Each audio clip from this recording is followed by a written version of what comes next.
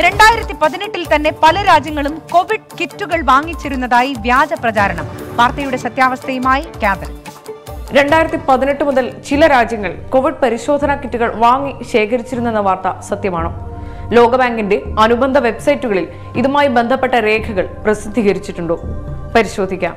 ഈ കഴിഞ്ഞ സെപ്റ്റംബർ ആറിന് അമേരിക്കൻ വാർത്താവതാരകൻ ബെൻ സ്വാനിന്റെ ഒരു ഫേസ്ബുക്ക് പോസ്റ്റിലൂടെയാണ് ഇത്തരം ഒരു വാർത്ത വ്യാപകമായി പ്രചരിച്ചു തുടങ്ങിയത്.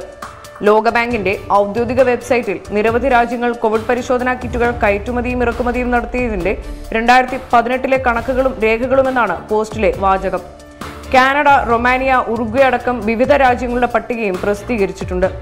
രേഖകൾ വ്യാജമല്ലെന്ന് ലോകബാങ്ക് സ്ഥിരീകരിക്കുക കൂടി ചെയ്തതോടെ വിവാദം ഉടലെടുത്തു. ലോകബാങ്ക് ഔദ്യോഗിക വെബ്സൈറ്റിലും രേഖകൾ പ്രത്യക്ഷപ്പെട്ടു.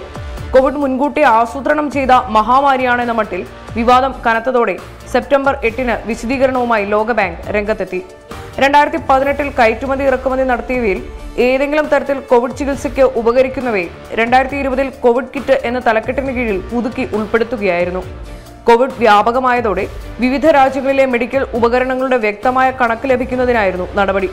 പ്രചാരണത്തെ തുടർന്ന് പട്ടികയുടെ തലക്കെട്ട് മാറ്റിയതായി ലോകബാങ്ക് അറിയിച്ചു. കെമിക്കൽ റിയേജന്റുകളും ക്ലിനിക്കൽ ഉപകരണങ്ങളുമാണ് ലിസ്റ്റിലുള്ളതെന്ന് കോഡ് അടിസ്ഥാനത്തിൽ പരിശോധിച്ചാൽ വ്യക്തമാകും. രണ്ടായിരത്തി ഇരുപതിനു മുമ്പ് കോവിഡ് പരിശോധനാ കിറ്റുകൾ ഇല്ലായിരുന്നെന്നും ലോകബാങ്ക് വ്യക്തമാക്കി. ആധികാരികതയില്ലാത്ത എല്ലാ പ്രചാരണങ്ങളെയും യുക്തിയോടെ സമീപിക്കുക. മഹാമാരിയുടെ കാലം ഒരുമിച്ച് നിൽക്കേണ്ട കാലം കൂടിയാണ്.